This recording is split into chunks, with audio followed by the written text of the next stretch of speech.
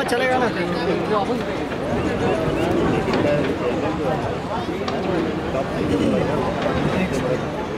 चले थे हाँ।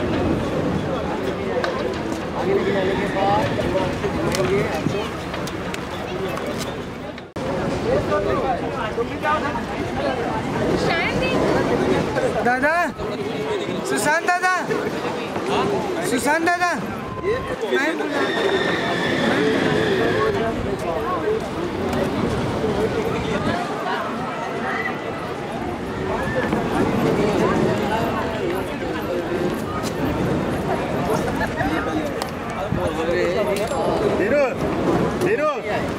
आइए आइए आइए आइए।